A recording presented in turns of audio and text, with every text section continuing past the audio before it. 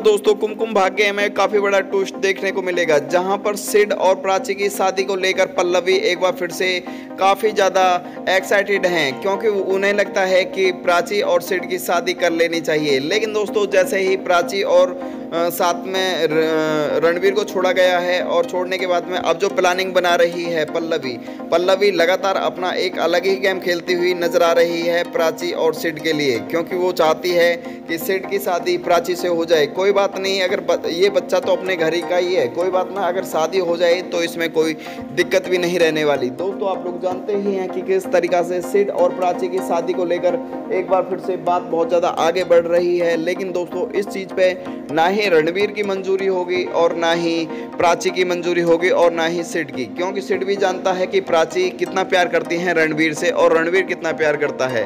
लेकिन दोस्तों इस समय आलिया और रिया काफ़ी ज़्यादा खुश नज़र आने वाली हैं कि चलो फाइनली सेट की शादी अब होने जा रही है प्राची से। लेकिन दोस्तों, शादी हो ही नहीं पाएगी, क्योंकि कहानी में, वाकई में एक दिलचस्प मोड़ आ चुका है। जब आप लोग देख पाएँगे कि किस तरीका से लगातार प्राची बोलती हुई नज़र आने वाली है कि मैं कोई वस्तु नहीं हूँ कि जो ये सामान उसको दे दिया या उसको। मैंने रणवीर से प्यार किया है और रणवीर से ही पूरी ज़िंदगी में प्यार करती रहूँगी। दोस्तों, आप लोग जानते ही हैं कि इस समय कहानी में, वाकई में एक नया मोड़ आ चुका है। आप लोगों को बता देना चाहता हूँ कि जल्दी ही आप लोगों के बीच में खुलासा होने जा रहा है।